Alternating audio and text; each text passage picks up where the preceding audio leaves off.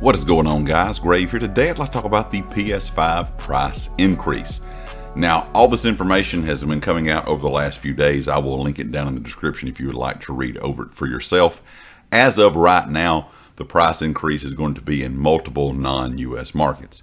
Sony has not said that the PS5 will never go up in the United States, but just not going to go up in, in the US as of right now. And Microsoft kind of responded to this as soon as this became news saying that the new Xbox Series S and X, they had no plans to raise the price of of those two new consoles anywhere, so worldwide or in the US. So as of right now, the Xbox is staying the same price. The PlayStation 5 is going to be uh, have a, or going to have a price increase in non-US markets and stay the same price as of right now in the United States. Like I said, this has kind of all come out over the last few days. All the information is in the description if you would like to read over it for yourself. Uh, when it comes to the reason the CEO uh, said that they're seeing high global inflation rates, is that of course a lot of people in, in, in the world in the U.S. are kind of experiencing this, and with the currency trends impacting consumers and creating pressure on many industries, based on all these uh, challenging economic conditions, Sony has had to make the difficult decision to increase the recommended retail price of the PS5 in select markets across Europe the Middle East and Africa, the Asia Pacific, Latin America, as well as Canada. There will be no price increase as of now, uh, as of right now in the United States.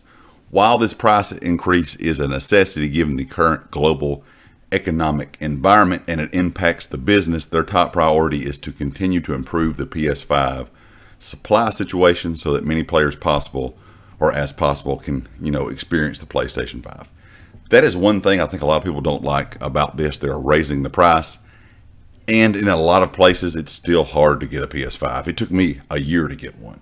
I was not going to go out and personally and pay, you know, scalper prices for one. So I finally waited, uh, you know, for a year and found one at retail price and I was able to purchase it then.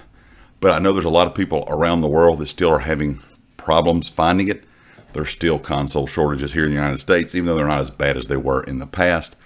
But this kind of give you an idea of what you can expect uh, with some of these prices. The PS5 with the Ultra HD Blu-ray disc drive is going to go up to $549.99 in Europe, and the PS5 digital version is going to go to $449.99.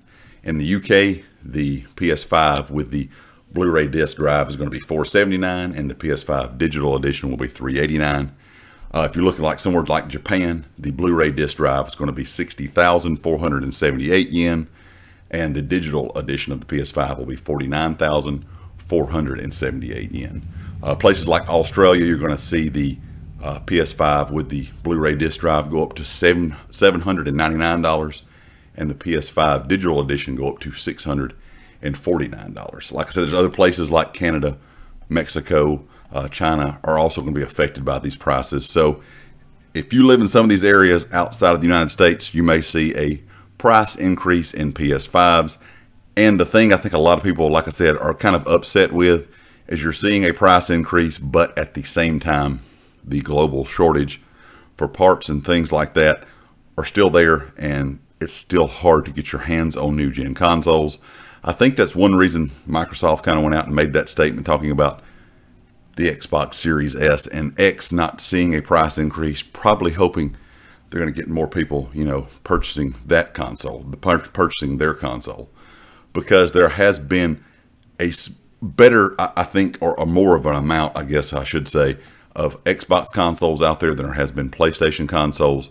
So I'm thinking Sony uh, probably in the end may regret this because it may give Xbox a little bit of an advantage considering if there's more Xbox consoles out there and they are cheaper, people are more likely to purchase them. But leave me a comment with your thoughts. Let me know if you've got your PS5 yet. And if you haven't and you live in one of these regions, let me know if you will purchase it now that the price has increased. Of course, if you like the video, hit the like. If you have not subscribed yet, please do so. And I'll catch you next time. Peace.